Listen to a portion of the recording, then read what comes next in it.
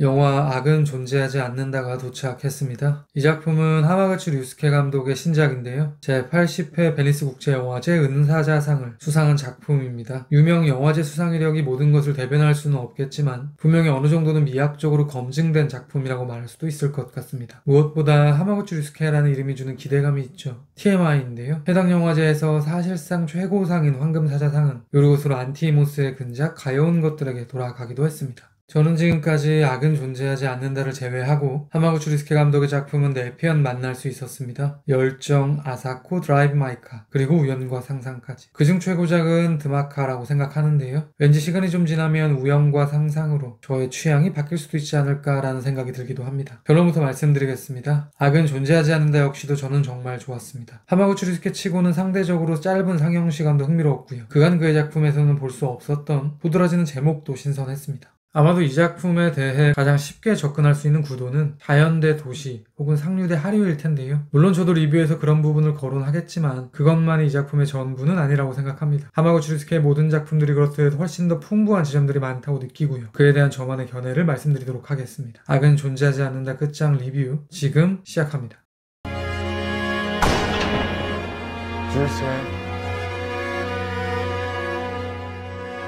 やりすぎたら バランスが壊れる 악은 존재하지 않는다는 오프닝부터 흥미롭습니다. 숲속에서 하늘을 바라보며 이동하는 장면이 대책 없는 롱테이크로 이어지죠. 자연스레 어떤 인물의 시선일까라는 의문을 갖게 되는데요. 뒤에 숲을 걷고 있는 하나의 모습이 연이어 등장하는 것을 보면서 아, 소녀의 시점 쇼트였나 보구나라는 생각을 하게 됩니다. 이렇게 영화에는 어떤 시선들이 지속적으로 등장하는데요. 그것의 주체가 누구인지를 특정짓기가 쉽지 않습니다. 몇 가지 예시를 들어보겠습니다. 언급드린 오프닝 장면 직후 타쿠미가 등장하죠. 그는 장작을 패고 있는데요. 그를 엿보는 듯한 어떤 시선이 트래킹 숏으로 등장합니다. 앞선 하나와는 다르게 그 시점의 주체는 끝내 나오지 않죠. 이런 장면도 있습니다. 건망증으로 인해 하나의 학교를 깜빡한 타쿠미는 허겁지겁 학교로 향하는데요. 그는 선생님으로부터 아빠가 늦자 소년은 혼자 집으로 걸어갔다는 이야기를 듣게 됩니다. 이때 꽤나 묘한 시선이 타쿠미를 따르죠. 차 뒷좌석에 탑승하는 데 느껴지는 어떤 영적인 존재의 시선. 차가 달릴 때 그 시선은 차의 뒷유리를 통해 밖을 보고 있습니다. 결론부터 말씀드리겠습니다. 저는 이 작품을 지배하는 시선의 주체는 자연 혹은 자연에 속한 무엇이라고 생각합니다. 악은 존재하지 않는다의 큰 골자 중 하나는 자연 속에서 순응하면서 살아가는 마을 주민들과 자연을 글램핑장으로 개발하려는 이들 간의 대립 구도일 텐데요. 양자 사이에 끼어 있는 자연의 시선이 영화에 녹아 있는 것처럼 느껴지는 것이죠. 인격이 부여된 것 같다고 해야 될까요? 이를 구현할 수 있는 직접적인 장면이 하나 있습니다. 타쿠미는 카츠오와 함께 상류의 좋은 물을 떠다 나릅니다. 아마도 카츠오의 우동 가게에서 사용할 물이겠죠. 이때 타쿠미는 무엇인가를 보더니 카츠오에게 이리 와보라고 하는데요. 그들은 땅 쪽에 위치한 카메라를 향해 서서히 다가오죠. 심지어 카메라와 눈을 마주치기까지 합니다. 그곳에 있던 것은 땅 와사비였습니다. 그러니까 이 작품 속 카메라는 자연 혹은 자연을 이루는 무엇이 될 수 있는 것입니다. 그렇다면 이 지점에서 이런 질문이 가능할 것 같습니다. 오프닝에서 보이는 하나의 시선은 무엇인가? 하나는 자연이 아닌데 이에 대해 이런 의견을 내보면 어떨까 싶습니다. 영화 속 타쿠미와 하나는 사슴과 공명한다 라고 말이죠. 그렇게 볼 수 있는 설정들이 꽤 있는데요. 몇 가지만 말씀드려 보겠습니다. 영화 속에서 타쿠미가 하나를 데리러 학교에 가는 장면은 두 번 등장합니다. 아차 하고 뒤통수에 손을 대며 딸의 학교를 떠올릴 때 타쿠미가 듣는 공통적인 소리가 있죠. 바로 사슴을 사냥하는 총소리. 그러니까 그는 사냥당하는 사슴 직후 딸 하나를 연상케 되는 것입니다. 이뿐만 아니라 타쿠미의 심각한 건망증으로 인해 딸의 학교는 물론이고 저녁에 계획되어 있는 글램핑 관련 마을 모임도 깜빡하는데요. 이렇게 많은 것을 잘 기억하지 못하는 이가 숲속의 생태에 대해서는 빠삭합니다. 하나를 업고 숲을 걸으며 오가피 등등 여러 생물에 대한 이야기를 들려주니까요. 숲에 소속되어 있는 듯한 인상을 주는 것이죠. 타쿠미 하나가 사슴과 포개져 보이는 설정은 모자를 통해서도 표현되고 있는데요. 영화 속에서 타쿠미와 하나는 모두 비니 스타일의 모자를 쓰고 있습니다. 그리고 이들이 모자를 벗는 장면은 총 3번 나오죠. 글램핑장 설명회에서 타쿠미가 발언을 할 때, 아빠가 반응이 없자 밉다는 듯 하나가 타쿠미의 모자를 벗길 때, 마지막으로 영화의 끝자락 하나가 사슴과 대면할 때, 하나가 타쿠미의 모자를 벗기는 장면을 제외한 나머지 두 장면은 저에게는 같은 의미를 품고 있는 것처럼 보이더라고요. 우선 하나가 사슴에게 보이는 행동에 대한 저의 추론을 말씀드려 보겠습니다. 긴장감이 팽팽한 이 시퀀스에는 아빠 사슴으로 보이는 사슴의 단독샷이 인서트 되어 있죠. 이때 무표정한 표정과 함께 사슴뿔이 인상 깊게 눈에 들어오는데요. 사슴의 뿔은 상대를 공격하거나 자신을 방어할 때 사용할 것입니다. 그런 관점에서 보면요. 저에게는 비유적 사슴인 하나가 사슴들 앞에서 모자를 벗는 행위는 나는 뿔이 없어. 그러니까 너를 해칠 생각이 없어 라는 표현을 하고 있는 것처럼 느껴지는 것이죠.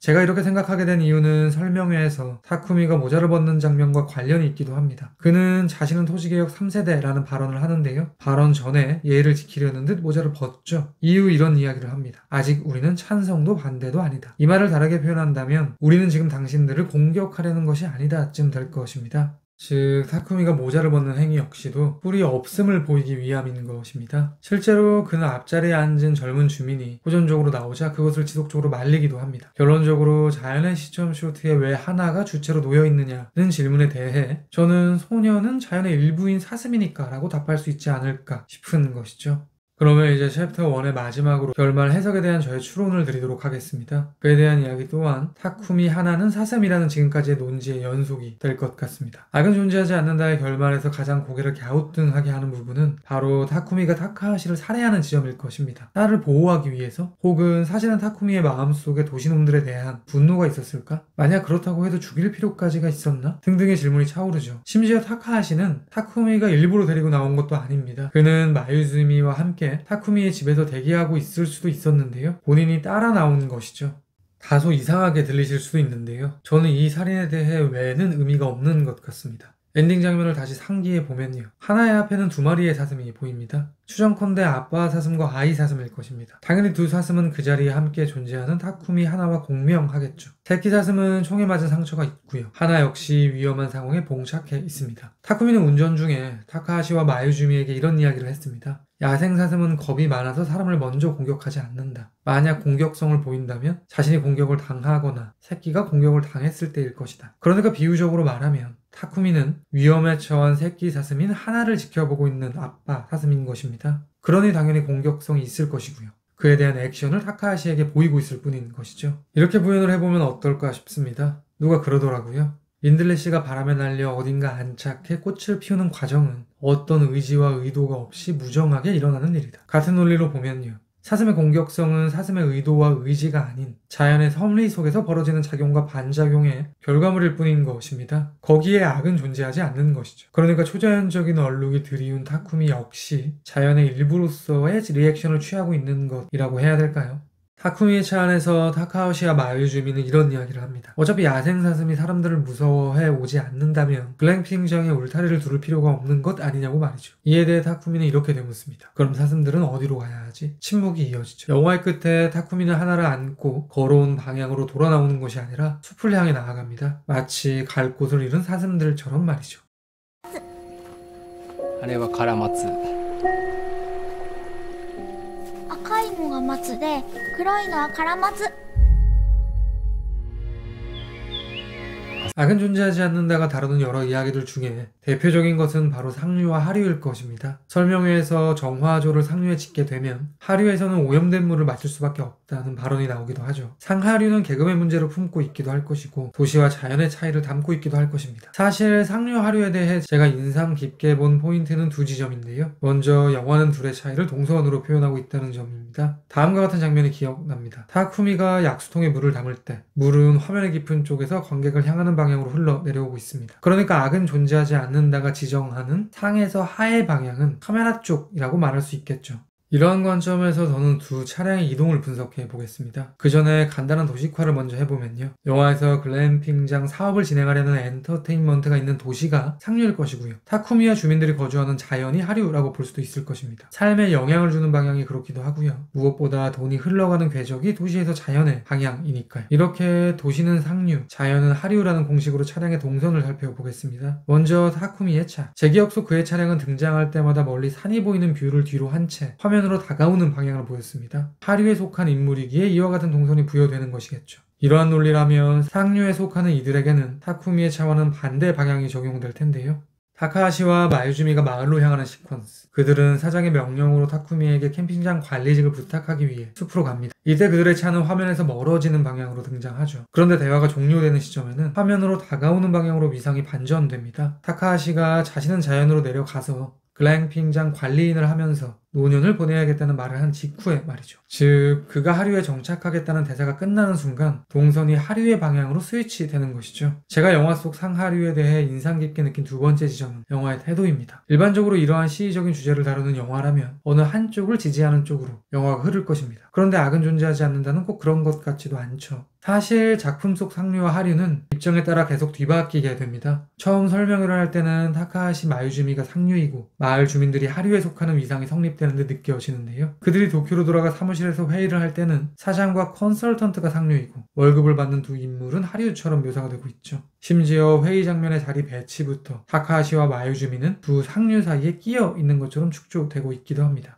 또한 마을 내에서도 원주민 타쿠미와 후에 정착하게 된 카츠오 부부 같은 경우에는 상류와 하류의 구도가 형성된다고 말할 수도 있을 것입니다. 상류에 살고 있는 타쿠미가 우동 국물에 사용하라며 상류의 좋은 물을 하류에 사는 카츠오 부부에게 전달하는 것도 그에 대한 은유겠죠. 물론 이때의 상하류는 계급차 같은 것을 의미하지는 않겠지만요. 아무튼 결론적으로 악은 존재하지 않는다는 상류와 하류는 상대적인 것이라는 태도를 취하고 있는 작품인 것입니다. 중요한 것은 어느 한쪽이 옳고 어느 한쪽이 그른 것이 아닌 타쿠미가 말한 밸런스인 것이죠. 그러면 이제 리뷰의 마지막으로 사운드와 이미지에 대한 이야기를 드리도록 하겠습니다. 이렇게 말할 수 있을 것 같습니다. 자연이 사운드라면 도시는 이미지다 라고 말이죠. 자연을 대표하는 타쿠미와 하나에게는 음악의 그림자가 어려 있습니다. 아마도 타쿠미는 아내와 사별하는 것처럼 보이는데요. 아내와 딸이 함께 피아노를 치는 사진이 바로 그 피아노 위에 놓여 있죠. 그는 피아노 건반을 만지작거리며 아내를 그리워하는 듯한 모습을 보이기도 합니다. 또한 하나가 실종되어 사슴과 대면하게 된 까닭은 꽁의 기타를 주어 마을의 회장님께 가져다 주기 위함이었는데요. 회장은 아들이 챔벌린이라는 악기를 연주하는데 이 깃털이 현의 소재가 된 다는 이야기를 하며 감사해야 합니다. 그러니까 타쿠미와 하나는 정확하게 뭐다라고 특정할 수는 없지만 크고 작게 음악과 결부되어 있는 것이죠. 다음은 도시와 이미지의 연관성. 영화에서 도시를 묘사하는 장면은 딱 한 번 나옵니다. 사무실에서 회의를 하는 시퀀스. 이 안에서는 많은 이미지들이 등장하죠. 화상회의라는 방식 자체가 대표적인 이미지라고 할 수 있을 것이고요. 사장이 자리에 앉아 담배를 태울 때 그의 뒤로 그와 똑같은 포즈를 취한 남성의 그림이 포착되기도 합니다. 역시 인상적인 이미지죠. 그러니까 도식화를 해본다면 자연은 청각, 도시는 시각이 되는 것입니다.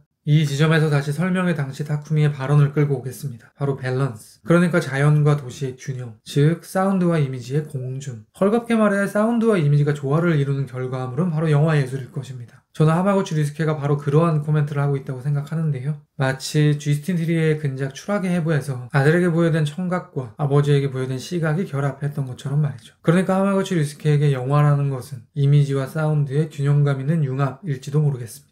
악은 존재하지 않는다에 대한 제 별점은 별 4개 반이고요. 한 줄 평은 다음과 같습니다. 사슴의 공격은 무정하다. 제가 100% 확답을 드리지는 못하겠지만 아마도 다음 리뷰는 지금 보여드릴 이 영화가 되지 않을까 싶습니다. 그리고 당연한 이야기지만 그 어떤 영화라 해도 언제나 영화는 제 리뷰보다 무조건 위대합니다. 들어주셔서 감사합니다. Artu! Artu! Oh, finalmente. Questo è il fidanzato